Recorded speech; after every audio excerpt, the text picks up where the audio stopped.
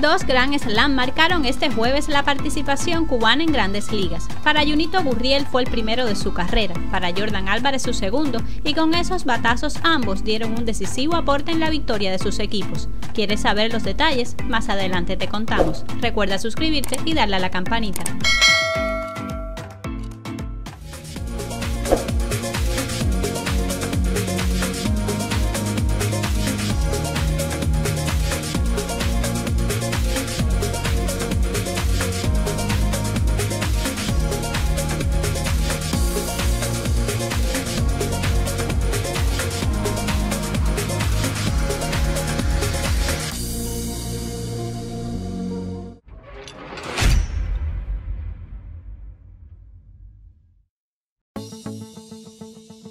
El cubano Lourdes Gurriel Jr. pegó un gran slam. Vladimir Guerrero Jr. tomó el liderato de jonrones de las mayores con su vigésimo cuarto vuelas cercas y los azulejos de Toronto extendieron la racha perdedora como visitante de los Orioles de Baltimore a 20 juegos luego de propinarles una aplastante derrota por 9 a 0.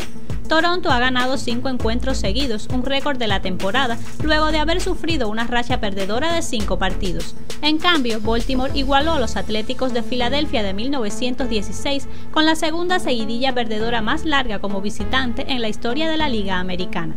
Para Lourdes fue el primer gran slam de su carrera. Conectó su batazo en el mismo primer inning para ampliar la ventaja que desde el inicio del partido tuvo el equipo canadiense. Fue además su octavo vuelo cercas de esta campaña y el 50 en grandes ligas. Como dato interesante le comentamos que precisamente junio es el mes que mayor cantidad de bambinazos ha pegado el espirituano con 15. Todos sus honrones han sido abriendo como regular y es a los Orioles al equipo que más carrera le ha producido con 24. Carlos Correa conectó tres hits, recibió dos boletos y remolcó tres carreras para ayudar a los Astros de Houston a aplastar 12 por 3 a los Tigres de Detroit y ampliar su racha de victorias a 11 juegos. Los Astros anotaron dos veces en cada inning desde el segundo hasta el quinto y terminaron con 18 hits y 6 pasaportes. El venezolano Luis García ganó su cuarta apertura consecutiva luego de ceder dos carreras y 7 hits en 6 episodios.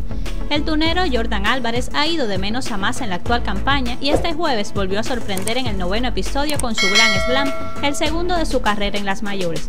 Con sus cuatro empujadas fruto del jonrón con bases llenas, sumado a otro remolque en el tercer capítulo, Jordan suma ahora 47 producidas en la temporada. Lleva dos días seguidos disparando cuadrangular para acumular 5 en junio. Julie Gurriel, por su parte, también sigue luciendo con el madero al batear de 5-3, apuntarse otra impulsada y anotar par de veces. En el cuarto inning pegó su decimoctavo doble de esta contienda, en la que promedia para 333. Aaron Judge conectó un jonrón para el primero de sus tres hits, Gary Sánchez la desapareció por segundo juego consecutivo y los Yankees de Nueva York propinaron una paliza por primera vez en un mes al vencer 8 por 1 a los Reales de Kansas City.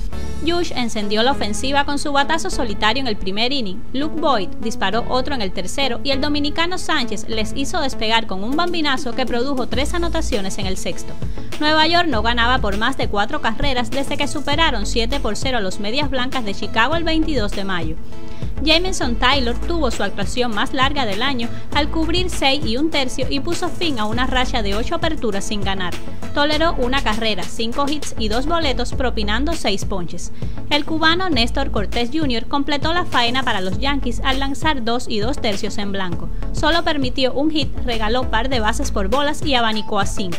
Cortés Jr. ha tenido 5 salidas esta campaña y lo ha hecho bien, con un promedio de carreras limpias de 1.20 en 15 capítulos trabajados. Por los Reales, el habanero Jorge Soler salió como emergente en el noveno y se ponchó tirándole ante los envíos de su compatriota Cortés Jr. Chris Bassett lanzó pelota de 7 entradas para conseguir su octava victoria consecutiva. Jet Lowry pegó un sencillo productor y un jonrón y los Atléticos de Oakland superaron 5 por 1 a los Rangers de Texas para dividirse la serie. Bassett abrió el juego inaugural de Oakland y perdió sus primeras dos aperturas. Desde entonces tiene una marca de 8 y 0 con una efectividad de 2.95 en 14 apariciones para la racha ganadora más larga entre los pitchers de la Liga Americana esta temporada. Para Lowry fue su sexto cuadrangular de la campaña y el decimonoveno de Oakland en 12 juegos. Por los vigilantes, el avileño Adolis García se fue de 4-0 con par de ponches y un rodado para doble play en el quinto episodio, para 272 promedio en 65 partidos. Como octavo madero y tercera base de los Rangers, el pinero Andy Ibáñez falló en tres ocasiones en elevado a los jardines y una vez se envasó por boleto en el cuarto inning.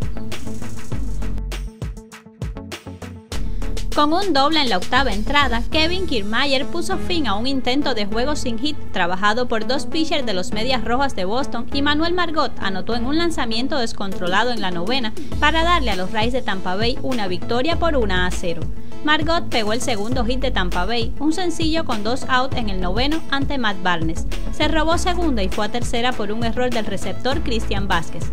Joey Wendell recibió una base por bolas intencional y Margot corrió al plato en el lanzamiento descontrolado de Barnes. Los dos cubanos de Tampa Bay no consiguieron pegar de hit. Solo Yandy Díaz logró envasarse una vez por boleto. En el resto de sus turnos falló, bateando como quinto madero e inicialista. Similar desempeño tuvo Randy Rosarena, quien se fue de 4-0 con un ponche, defendiendo la pradera derecha y como tercero de la alineación de los Rays.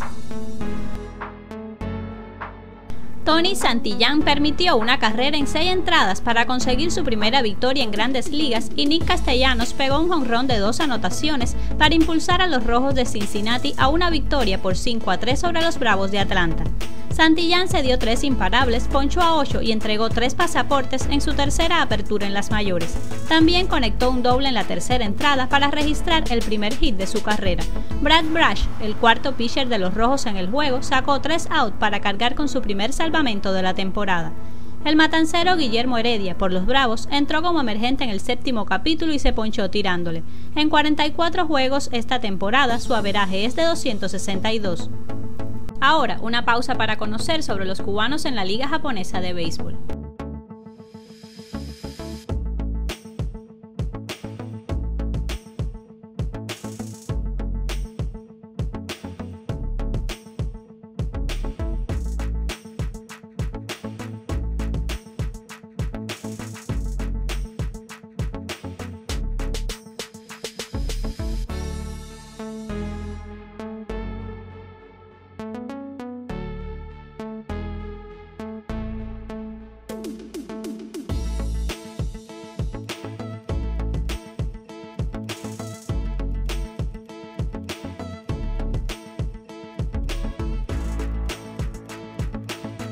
Kyle Schwarber conectó dos jonrones, elevando su total a 21 en la temporada y sumar 12 en sus últimos 13 juegos, y los Nacionales de Washington vencieron a los Marlins de Miami 7 por 3 para su décima victoria en 11 fechas. Schwarber se convirtió en el primer jugador en la historia de las grandes ligas en disparar 11 vuelas cercas en un lapso de 13 partidos, bateando como primer madero.